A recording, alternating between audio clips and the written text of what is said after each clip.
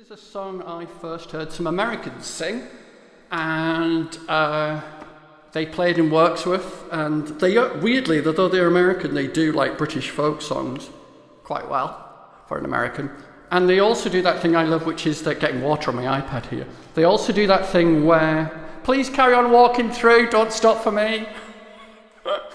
oh, right, turn around. Um, they know what they're getting. Um, yeah, so they liked to add verses, and that's what really attracted me to this song that they'd, you know, rewritten the song, added extra verses. It's called The Song of the Lower Classes.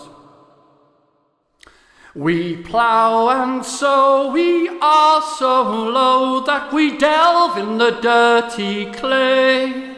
Till we bless the plain with the golden grain and the vale with the fragrant hay. Our place. We know we are so low, down at the landlord's feet.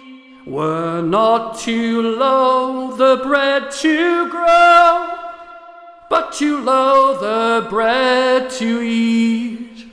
We're low, we're low, we are so low, yet from our fingers glide the silken flow and the robes that glow round the limbs of the sons of pride. And what we get and what we give, we know and we know our share. We're not too low the cloth to weave, but too low the cloth to wear. Down, down we go, we are so low to the hell of a deep sunk mine. But we gather the proudest gems that glow when the crown of the despot shines.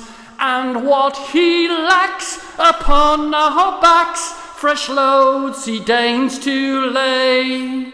We're far too low to vote the tax but not too low to pay. We're low, so low, into boats we go to flee war from our home country. And we'll try to make a better life when we land across the sea.